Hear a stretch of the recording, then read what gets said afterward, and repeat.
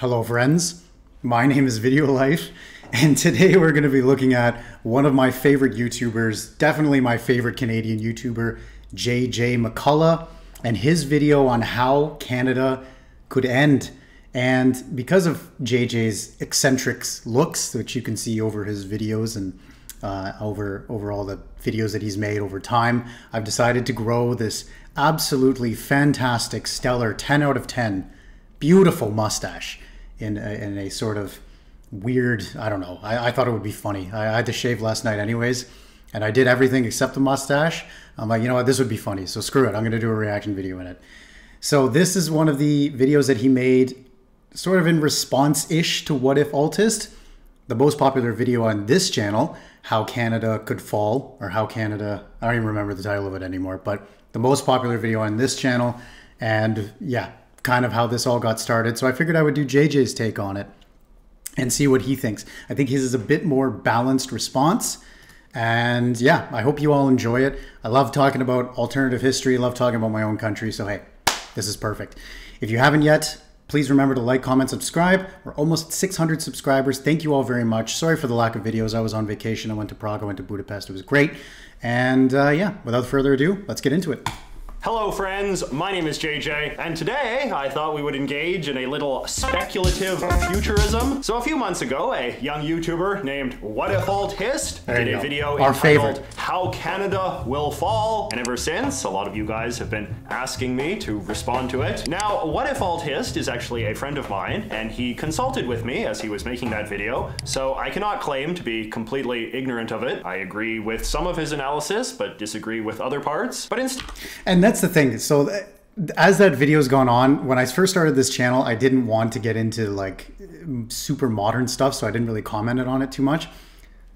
I, I might revisit that video one of these days, like probably in a year or something. Maybe I'll do it exactly one year later, but that's got to be like it, it, I disagree with way more than I think JJ does. So let's see how JJ um, covers this topic.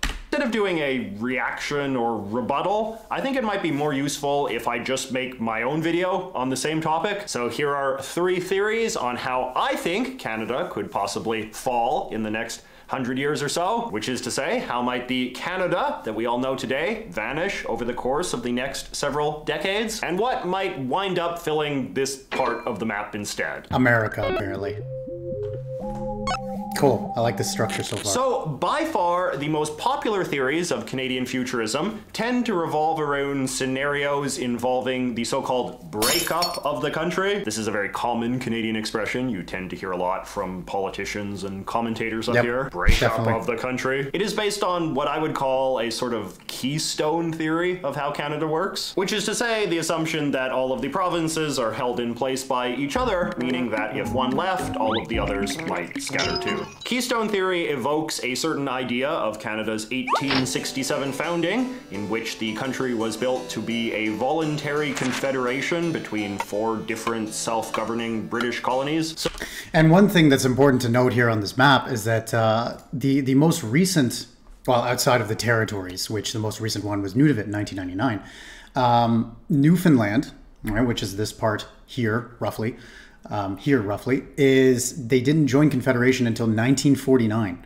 So when my grand when my grandfather was born in in 1938, um, Newfoundland was not a part of Canada, right? And so these were the initial provinces of Canada, which then we slowly expanded out westwards, um, sort of in the same kind of kind of style as Manifest Destiny as the United States that also expanded out westwards colonies. So the idea is that if one province opted out of this arrangement, the whole underlying premise of the country would be violated, and there would be no reason for any of the other provinces to continue to play along. Canada has expanded dramatically since the founding, with many new provinces having joined, yep. and some and have always speculated that as the country has grown larger, the Confederation deal has become more unsustainable, that sooner or later the different identities and interests of Canada's various component parts will come into some sort of irreconcilable conflict, and therefore the country's ultimate destiny is to split up into a bunch of independent nation states.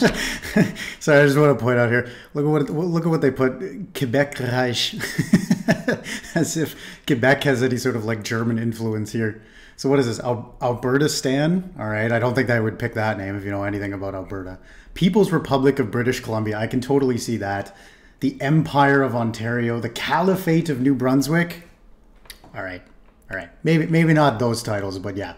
Something along imagine all these being different countries. Like it's, it's kind of ridiculous. Like Saskatchewan being its own country. It's, it's let's get real. Let's keep going. Independent nation states. Some go even further and speculate that Canada could even break down into just a few city states given how concentrated Canada's population is getting in just a handful of big urban cores that are Sure. very geographically far from one another and don't even trade that much amongst themselves. The problem Yeah, with fair this theory, however, is that I don't think there is much hard evidence that Canadians actually conceptualize themselves as citizens of a handful of isolated, mutually exotic communities, as opposed to citizens of a larger nation. A recent poll by the Environics Institute found that the percentage of Canadians who say that they think of themselves as a resident of their province first or exclusively is incredibly small. Outside of Quebec, Quebec. which is Yeah, obviously a special case that we will get to later. Probably Quebec and Alberta. where over 30% of residents Alberta? answered yes to this question is Newfoundland, which Oh, was a separate okay. country until 1949, which go. is to say within the lifetime of my father. Everywhere else, the numbers are below 20% and apparently going down. Polls also routinely show that pride in being Canadian is similarly high in every province, which is not exactly the sort of thing that you would expect to see in a place that is supposedly on the brink of being torn apart by regionalism. There's another very popular cliche that feeds into this idea, however, which is this notion that in Canada,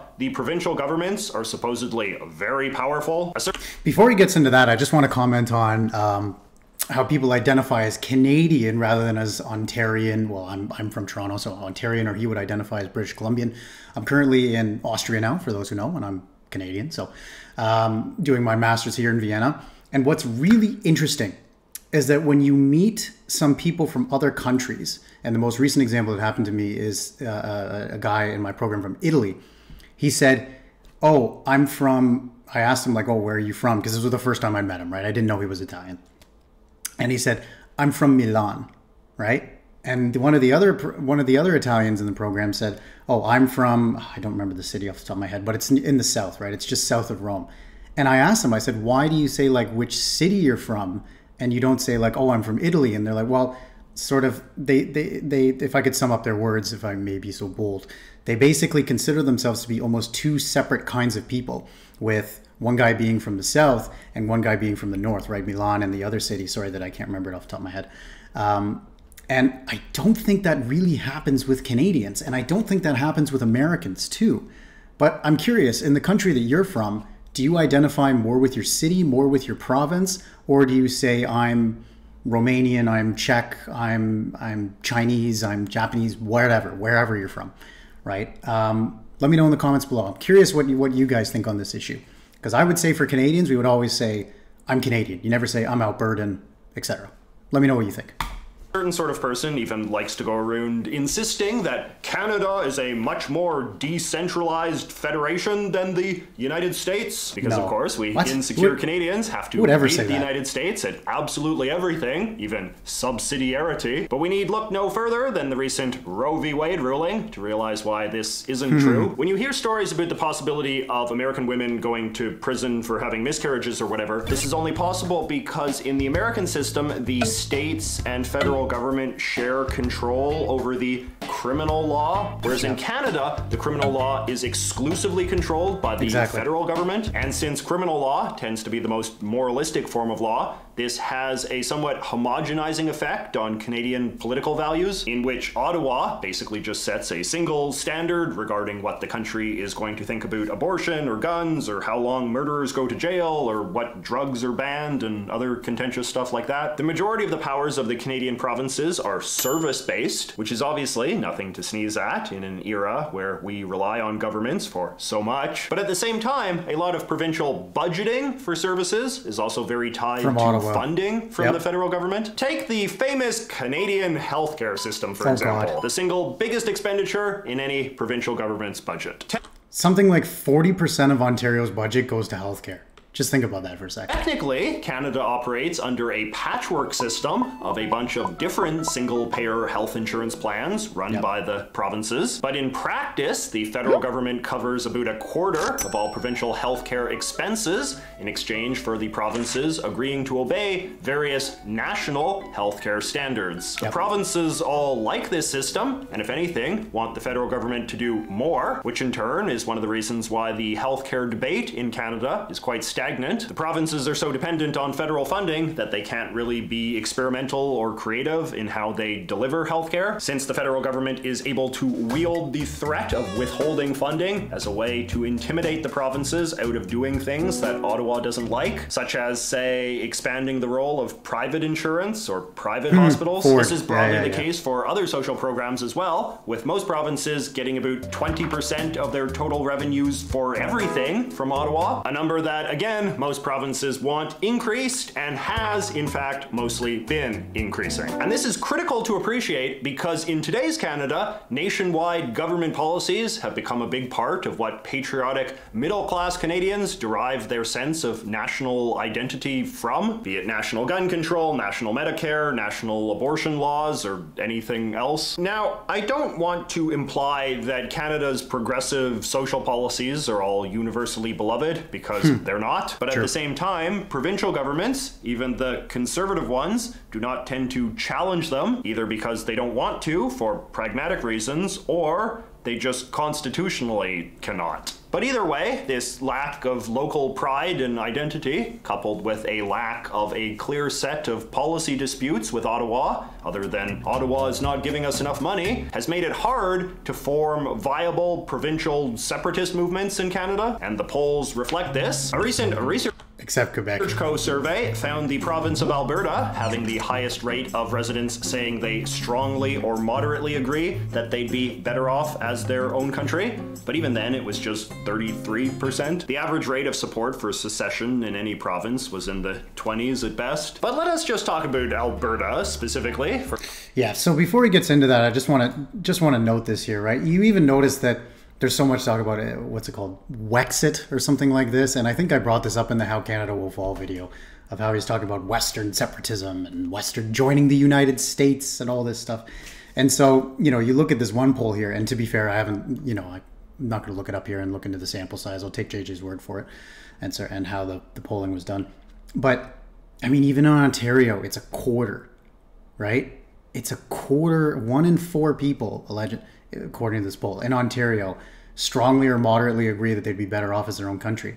It's only seven per, seven points off of Alberta, which is 33%, right? And so to say that there's this massive separatist movement that What If Alt Hist claimed in his video, right, that this could be a realistic scenario that they would secede and join the United States and all this stuff. It's like there's no like it's all fun, I guess, but there's no like sort of evidence to really back that up. And this is what I'm liking so far about this video is that it's like, okay, here's this poll, here's what people think.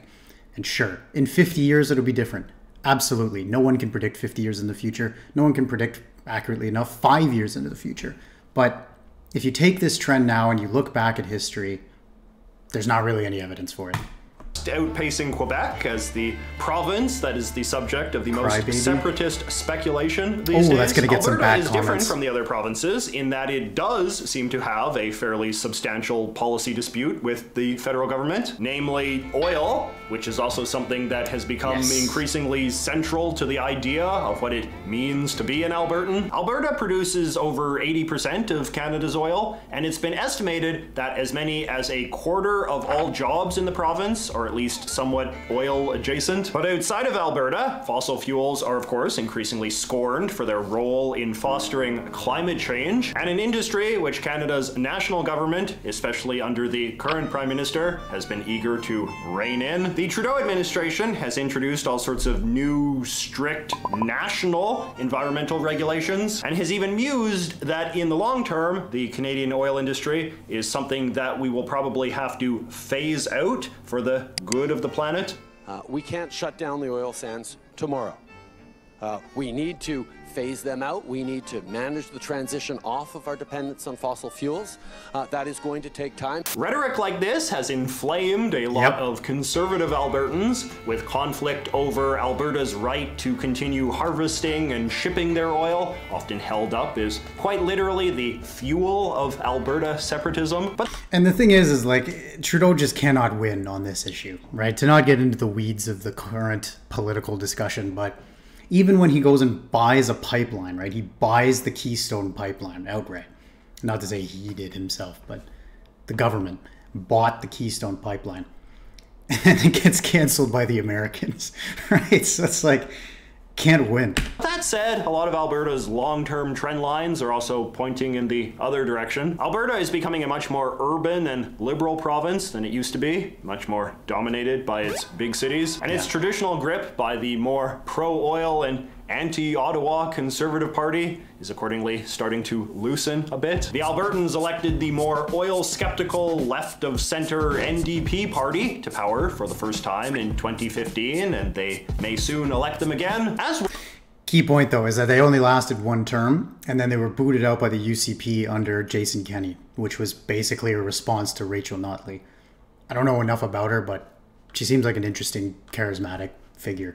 Um, but now that Jason Kenney's gone, who knows? We'll see what happens. Well, independent of climate change concerns, Albertan oil, which now mostly comes from the so called tar sands, is also some of the most Brutal expensive oil in the world to Yes, extract, exactly. which makes the provincial government very dependent on the volatile price of oil remaining high. So there are arguments that this just isn't a very good long term economic model for the province as well. In any case, even though 30% of Albertans may claim to support it, Alberta separatism doesn't really exist as even an embryonic political movement. For decades now, efforts at creating a separatist political party have Yep. flopped to the point where even parties considered to be separatist, like the Maverick Party, have to water down their language about how they're actually just trying to get greater fairness in the Canadian system or whatever. And And one thing about that too is that smaller parties are at such a disadvantage in the Canadian system, right? We have the first past the post system, which to make a, a complicated system short, the people who get the most votes in the riding, they'll get the seat and they go to parliament, right? First past the post, most votes win, if you will. Um, actually, sorry, it's not most votes win because then if the popular vote, then you would have, for example, in the 2019 election, uh, the Conservatives would have would have won because they got the popular vote, but rather it's who gets the most amount of seats um, as per the ridings. So smaller parties in Canada have a very, very, very tough time at actually making an impact. For example, the Green Party, which has been around since 1991, which I am not a very big fan of personally. No, actually, I think it's longer than 1991. Maybe it's the 80s. They've managed to get a total of three MPs. That was the max they ever had into Parliament, right? And that's for almost 30 years of attempting to get into Parliament and with social trends moving towards more towards green. I mean, the country that I'm in right now, Austria, the ÖVP, governs with the Green Party. In Germany, we have the Ampelkoalition, which is the SP, S, ah, sorry, SPD, the FDP, and the, the Greens, right? So Green parties are obviously making a big splash in Europe. But in Canada, it's just not there, right? The Green Party also in the UK is just not making the same type of attempt. Uh, same sort of splash. That can be more. This can be more easy with provincial parties, but even then, the the the major separatist party in Quebec, for example, was the largest party for a long time before those large separatist movements. The biggest one, the closest one being in the 1990s. Um, so yeah, so smaller parties are already at a disadvantage in the Canadian political system. So to get power, to be able to really move towards that Western separatism that What If Alt Hist brought up in his video, yeah, I think uh, you know our friend JJ here is sort of providing some some good some good arguments against that. they still flop. Basically, you for separatism to be 1.3%. viable as a political agenda, you need some sort of infrastructure to support it. Separatist parties, separatist leaders, separatist media, separatist intellectuals, and so on. And The other thing too is like a lot of the times the separatist parties they get they get just mixed up with just people who make stupid mistakes and say stupid comments and alienate you know any centrist voter, if you will, right? And you can look into some of the separatist parties in Alberta or Quebec, for that matter, um, you know, to see to see what stupid things they've said. None of this exists in Alberta, let alone the other provinces. The Wexit which is party why is what I'm I'm talking always about. skeptical when commentators treat the breakup of Canada as something that is so obviously going to happen sooner Yeah, rather than later. But Totally. of course, there is one big exception to this, and that is Quebec. Quebec. There has been a lot of talk recently about the virtues of playing the so-called long game in politics and how the biggest victories come to the patient. And when it comes to Canadian separatist movements, no one has been playing a longer game than the French Canadian nationalists in Quebec. In the old days, people thought that Quebec's breakup with Canada would come in a single, sharp, decisive moment, like a referendum on separatism, Brexit. followed Quebec by a unilateral declaration of independence. And to be sure, those tactics have been tried, That is a terrible photo, but yeah, you can see here 50.9% no. Very close.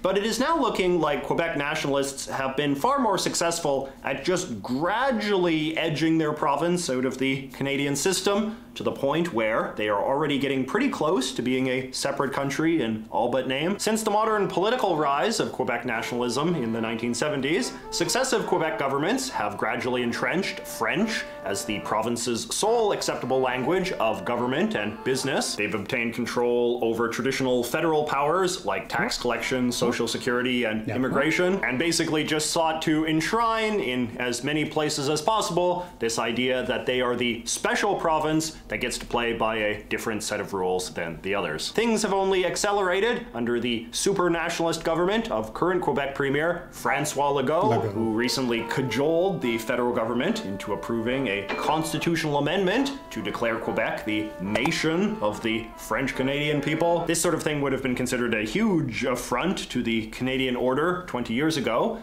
but today the country has been successfully conditioned to accept it as inevitable because of the way the temperature has just been slowly turned up over the decades.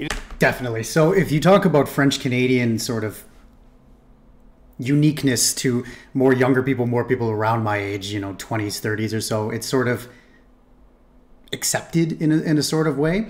But when I talk to my parents, when I talk to my grandparents, older people, colleagues, whatever, about Quebec separatism and things like this, there's generally a much more hard line between Anglo and French Canadians when it comes to this specific issue, with older Anglo Canadians being much more firmly against Quebec having sort of any special permissions, if you will, as, as they detailed there. And if I could just comment on the long game that he talks about, this is what makes, I think, Canada one of the most, one of the more, possibly one of the most um, stable countries in the world, is our politics it's very just down the middle, right? It's very just floating along, right? Like, yes, we'll, we'll vote the conservatives in for a few years. Okay, we'll give them a minority, right? Okay, then we'll vote the liberals in at a majority. All right, then we'll give them a minority. And so we're just constantly going through the center, right? It's playing the sort of long game. We don't have those wild swaps that you see in some South American politics. Um, and in even some European countries, you don't see those wild left, right, left, right. It's that, yeah, okay, the Conservative Party is going to do here. They're going to implement some policies. All right, here's the Liberal Party. But it's still generally within a free market, capitalistic, liberal, you know, um, political framework, right? That still uses the first past the post system, parliamentary Westminster style. And that's just sort of Canada, even of itself. It's stability, right? It's good order and good governance, right? That's what we were founded founded on one of those uh, one of those quotes. So. It is now hard to imagine any future Quebec government putting any of this stuff into reverse, or any future Ottawa administration daring to try to put this toothpaste back in the tube. My assumption would be that in future they need Quebec decades, we will continue to see Quebec play the incrementalist game, with subsequent administrations acquiring the remaining symbols of sovereignty, including their own passports, currency, Olympic team, maybe even an independent armed forces. Whether they That one I completely disagree on. I don't see them having their own currency. Why? And their own armed forces. The Canadian armed forces got enough problems. Me tell you that much. We don't need a separate Quebec forces. But who knows? Maybe a passport, maybe an Olympic team.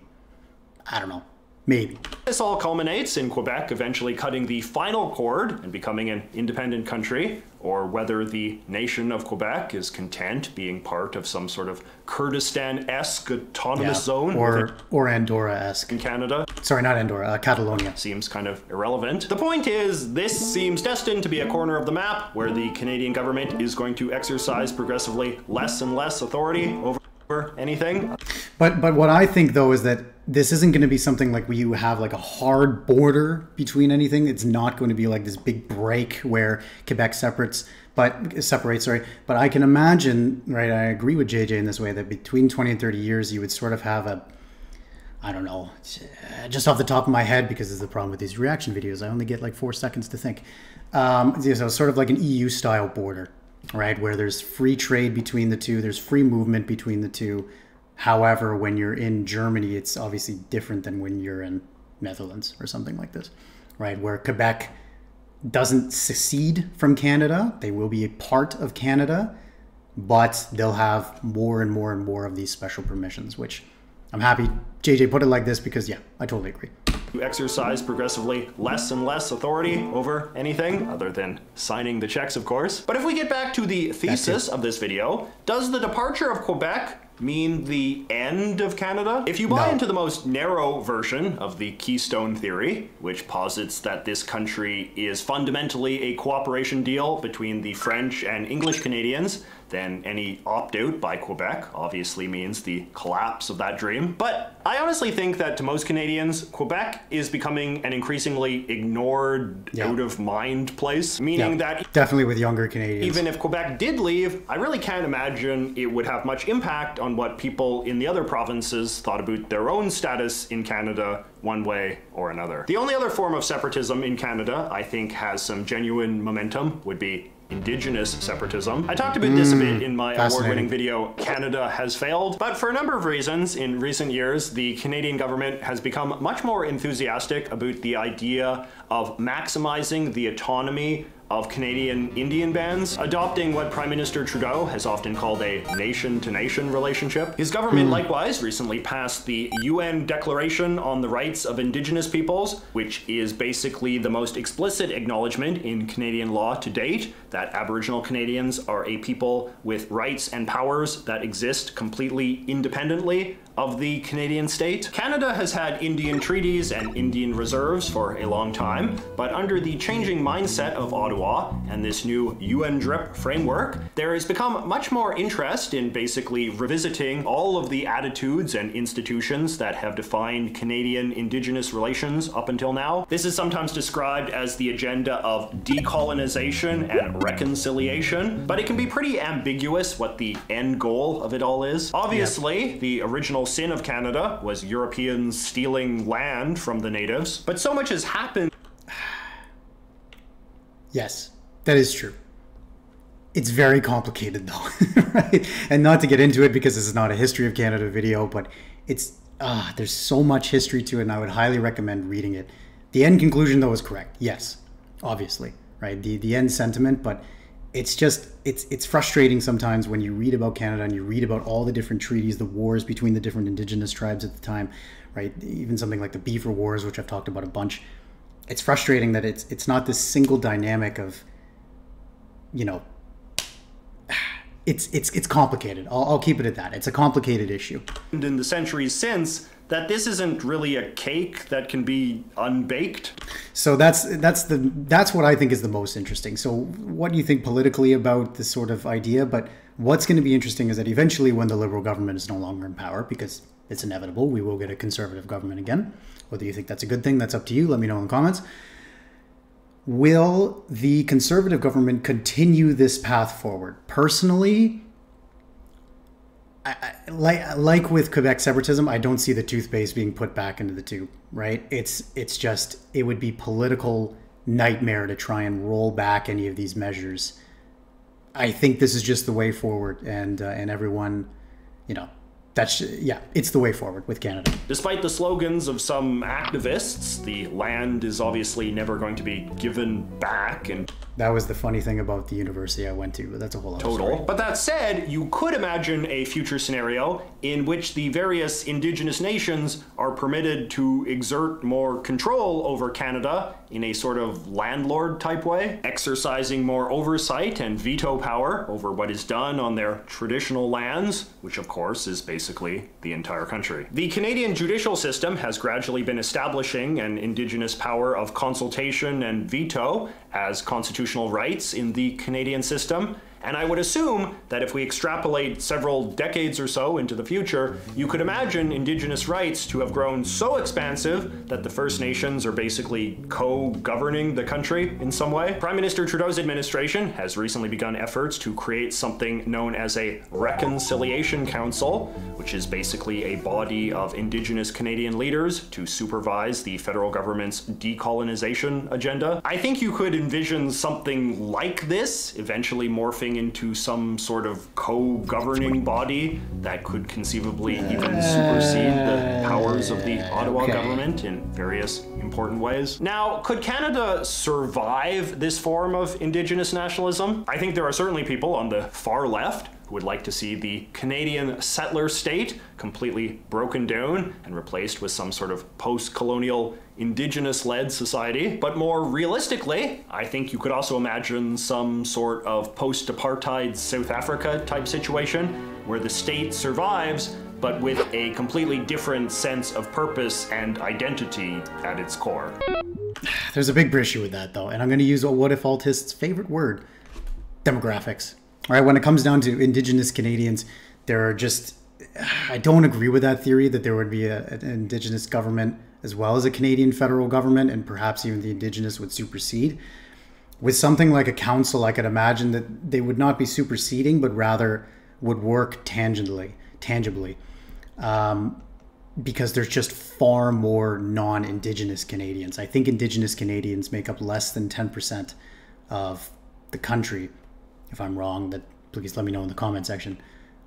I just don't see that working out though. Of that, there would be enough to sort of make because with with apartheid South Africa, there were far more um, black people living in South Africa than there were white people. Right, the white people were the minority. I believe around thirty percent, if if memory serves. But with Canada, that's the figures are reversed, right? And I just don't personally see that happening.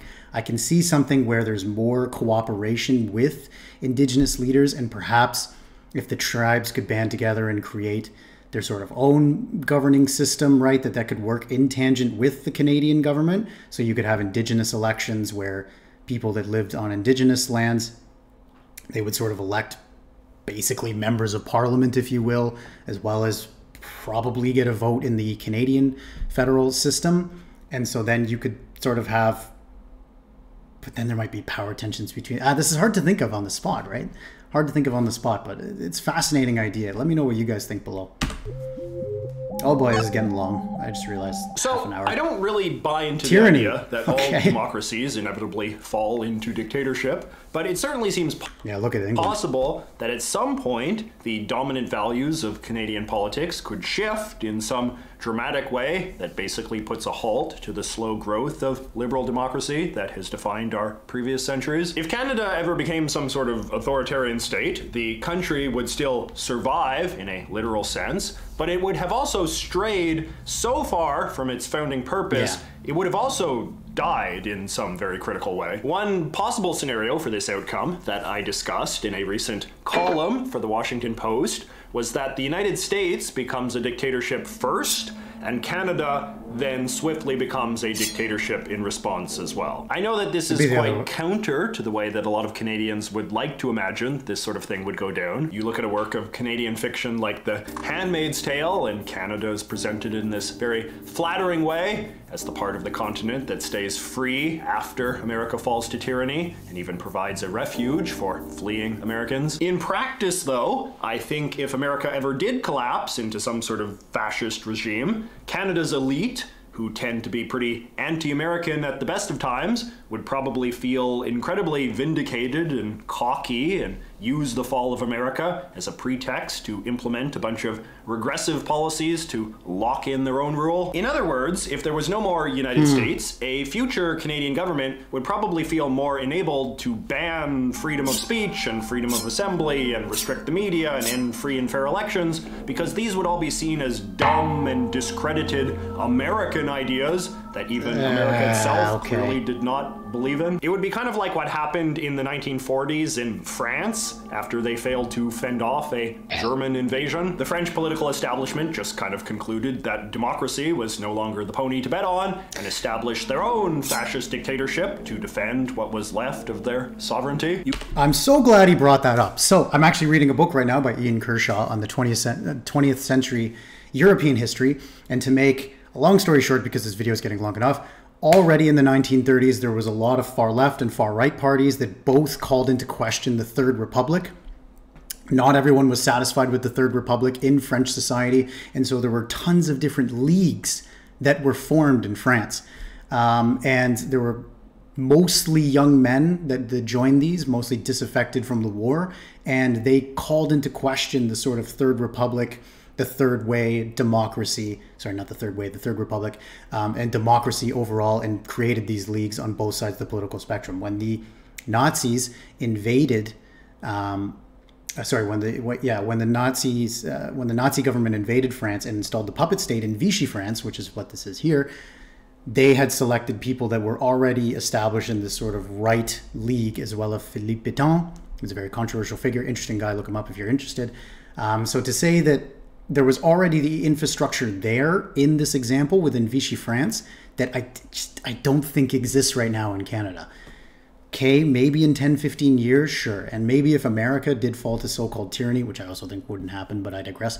Um, actually, today's, uh, I'm not going to get into it. But um, I don't think that that current system exists. And so, tyranny in the Canadian sense, I don't think that it would be like Margaret Atwood's, where it's just the complete opposite and we would be this free, amazing, perfect land. But I would imagine that perhaps like something Parliament would be suspended and certain rights would be limited, but to say that they would axe freedom of speech, axe freedom of the press, not don't don't agree on that as much. I think that there would have to be systems that we would have to change for our government to align ourselves more with this new tyrannical American one. That's just my theory. You could imagine some future Canadian government making a similar argument that a collapsed and possibly hostile America necessitates the need for Canada to become a dictatorship too, to defend our independence and negotiate with the new American regime on a strong footing and so on. But even It would also really depend on who's in power at the time. Both parties, I think the conservatives and liberals have a very different way of looking at that. But again, they're pretty similar when it all comes down to it. independent of this wild scenario, my guess would be that Canada of the future is probably on track to be less, not more free, and that anti American nationalism will probably play a large role in that. I just think that the supposed need to protect Canada from American influences and American problems and even American ideas has traditionally proven itself to be a pretty flexible justification that can be used to rationalize a lot of bad ideas. And assuming nationalism remains strong 80s. across this country, or even grows, I think it is a fair bet to believe we will continue to see nationalism evoked as a pretext to restrain what Canadians can see, hear, say, or even vote for. But what if things go the exact opposite way? Why, then we would be in scenario three.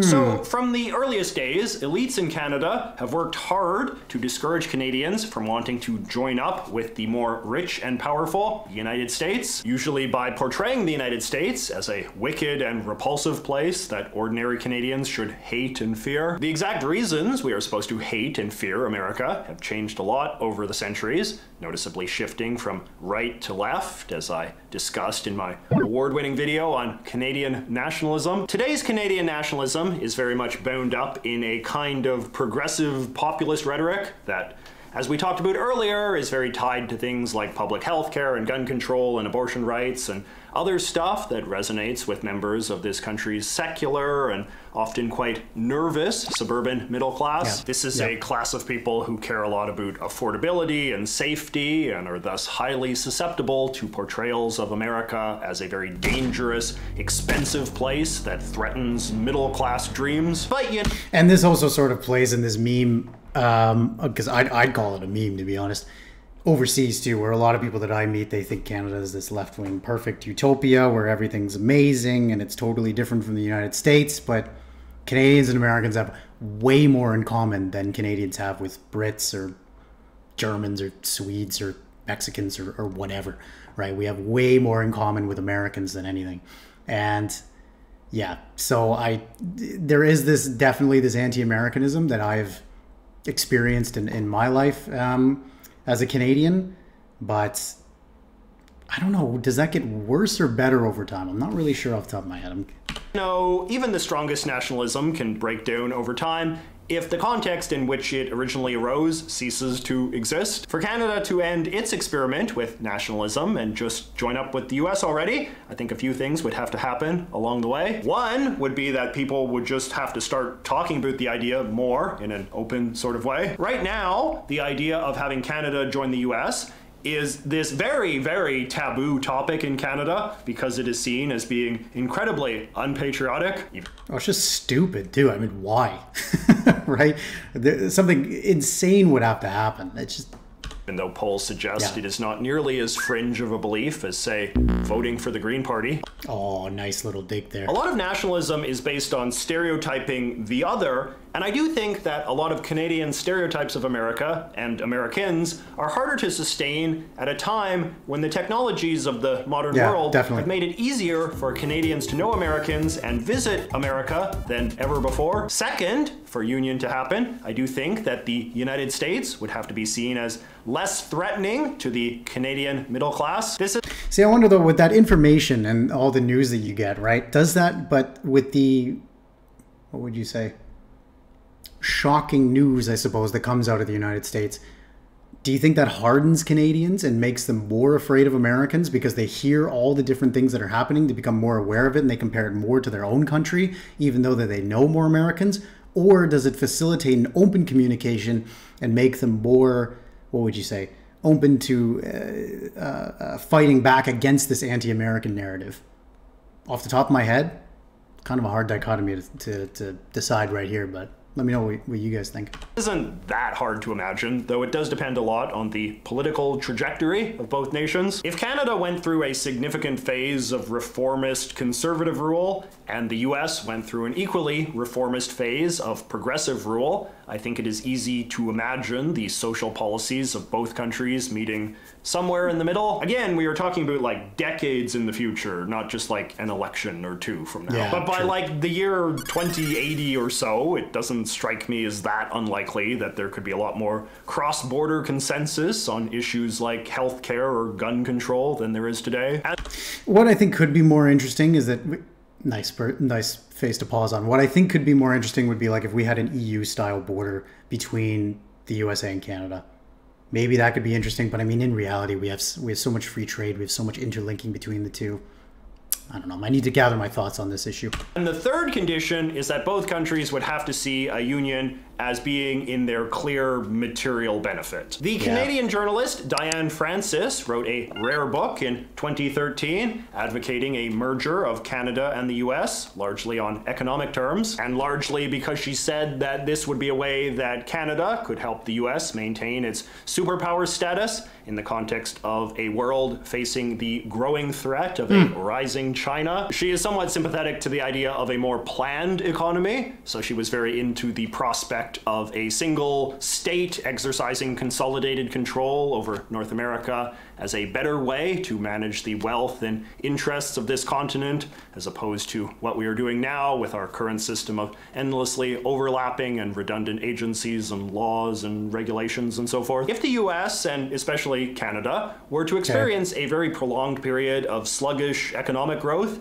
you could see the case for a US Canada merger seeming increasingly attractive to leaders on both sides, just as the previously taboo idea of free trade with America became increasingly attractive in the late 1970s and early 1980s in Canada, when the economy seemed to be in a similar downturn. When you And that took almost a decade to to fall on. And actually the conservatives were pro free trade and the liberals were anti free trade, which yeah, kind of interesting how parties progress over time. Look at some of the great bursts of prolonged economic growth in the past in both Canada and the US. They tend to correlate with significant paradigm shifts. Women entering the workforce, for instance, or World War II. East Germany experienced a big boost in growth when it merged with West Germany, as did many of the poorer nations Germany of Europe after they joined the EU. So, in a dire enough economic environment, the Canadian provinces becoming states of the US could wind up looking like a fairly rational thing to future generations, but only if the future also winds up being an era less nationalistic than our own. So yeah, I feel like Cool. we covered a lot of ground in this video. Obviously, all predictions about the future tend to be horribly myopic, backed by little evidence beyond wildly extrapolating from the present, and mine are no different. As any student of history knows, the timeline of humanity is much more wild and fluid than we give it credit for, and